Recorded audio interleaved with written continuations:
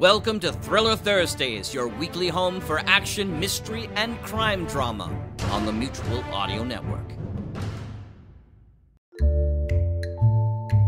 Hi, I'm Rich, your mutual announcer for today, thanking you for joining us on Thursday Thrillers, right here on the Mutual Audio Network.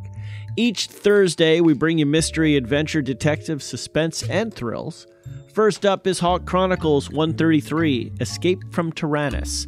Four factions are heading north to the mercenaries on Titan 4, while Barnes gets an unexpected visitor in his Annapolis office. After that, you can hear Stage Struck Audio Theater Netherworld.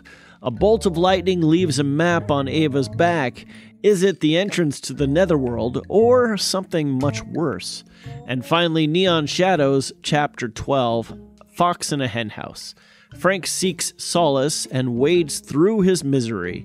Dusty finally finds a medallion. So this week it's all about the unexpected, shocking revelations, and misery. I'm Rich Froelich of the Texas Radio Theater saying thanks a lot for clicking play on today's Mutual Audio Network selection, and a bunch more for clicking subscribe.